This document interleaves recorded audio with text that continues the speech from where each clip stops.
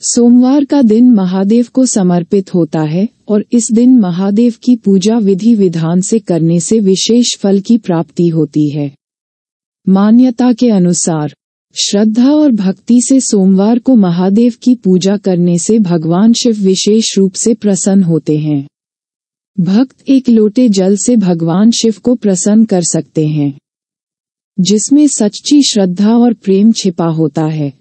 सोमवार को महादेव की पूजा करने और भगवान शिव का आशीर्वाद प्राप्त करने से व्यक्ति को मानसिक शांति, सुख, समृद्धि और आनंद की प्राप्ति होती है।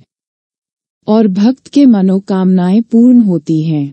सोमवार के दिन व्रत रखने और शिवलिंग पूजा करने के अलावा, आप कुछ विशेष उपायों को अपना सकते हैं जो महादेव को प्रसन्न करके आपकी सफलता में मदद कर सकते हैं। ये उपाय आपके कार्यों को समृद्धि सफलता और तरक्की की ओर ले जाने में मदद कर सकते हैं। यहाँ कुछ ऐसे उपाय दिए जा रहे हैं।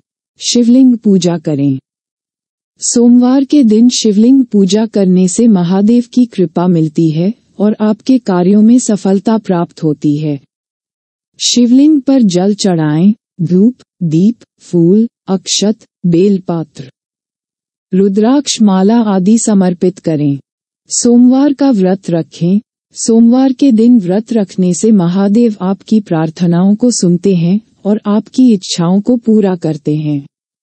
आप पूरे दिन निराहार रह सकते हैं या फल, फूल, दूध, दही गंगाजल आदि के साथ व्रत रख सकते हैं। गायत्री मंत्र का जाप करें।